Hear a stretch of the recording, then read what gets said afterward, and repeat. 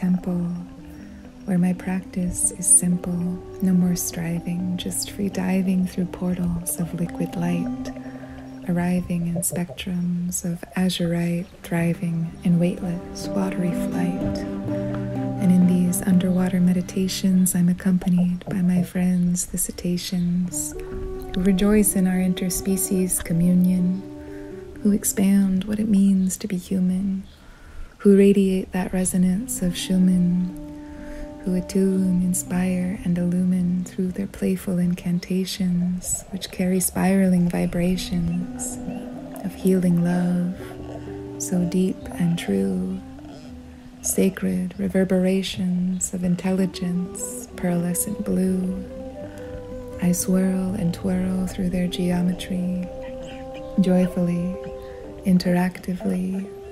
erupting with ecstasy, playing games, sharing dreams, bursting at the seams, carefree,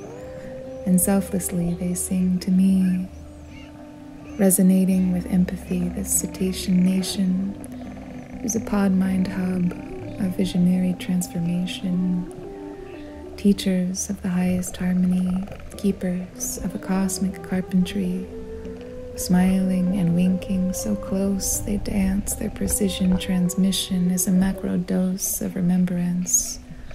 Their aquatic acupuncture, doctors and uplifts, repairing the rifts and awakening our gifts. My marine sangha, amplifiers of mana, immortal altruists synergy ritualists, restoring and reviving, reminding me of my devotion to the ocean, her medicine of endless motion, sometimes gentle as the swan gliding along the serene textures of a calm day, then wild as the wind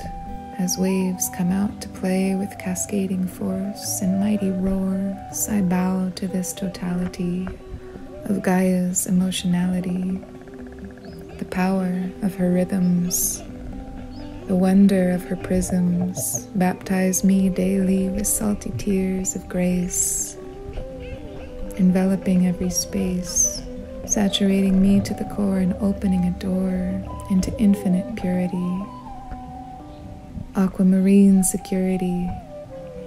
the fluency of yin, trusting intuition, honoring the stream that guides me,